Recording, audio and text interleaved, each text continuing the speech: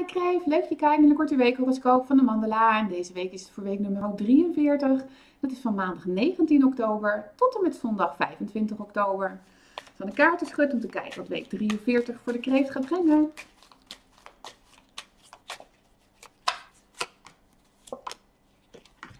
Dan lijkt het kreeft alsof deze week een belangrijke week voor je gaat worden. Je hebt een bepaald besluit genomen, iets ingezet en je vindt het eigenlijk nog heel spannend of dat allemaal wel goed uit gaat pakken.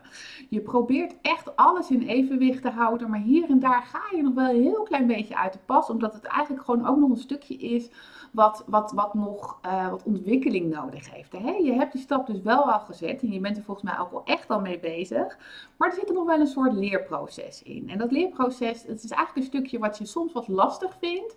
Maar het gaat je eigenlijk helemaal niet eens zo slecht af. Het is vooral het gevoel dat je het uh, als lastig ervaart of als moeilijk ervaart. En je wil eigenlijk gelijk graag die, die status hebben van dat je alles weet en dat je alles kan. Maar deze week moet je gewoon even de tijd nemen om het onder de knie te krijgen.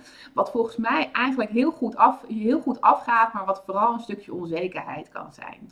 Aan het eind van de week namelijk heb ik het idee dat je echt denkt bij jezelf, nou dat heb ik toch echt niet verkeerd gedaan. Dus ben je toch echt wel tevreden over het stukje wat je aangepakt hebt. En zul je eigenlijk naar mijn idee ook gaan merken dat er een bepaalde groei is. Die je toch echt aan jezelf te danken hebt omdat je zo erg voor je beste gedaan hebt. Dit was alweer de korte weekhoroscoop. Ik hoor natuurlijk heel graag wat je ervan gevonden hebt. En ik wens je sowieso een super fijne week.